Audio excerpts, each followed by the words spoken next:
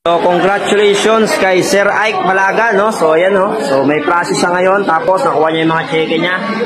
Ayan! So, worth 22,282. So, ayan, ito na, ang dami kumukuha ng mga cheque, oh. Ayan, so, ang dami. Congrats sa'yo, Sir Ike. Congrats, congrats. Ayan. So, God bless, God bless po. We are the brave, we are the bold.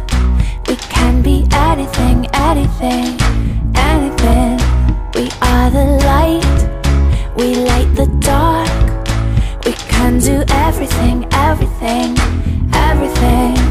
So hold on, don't stop. There's so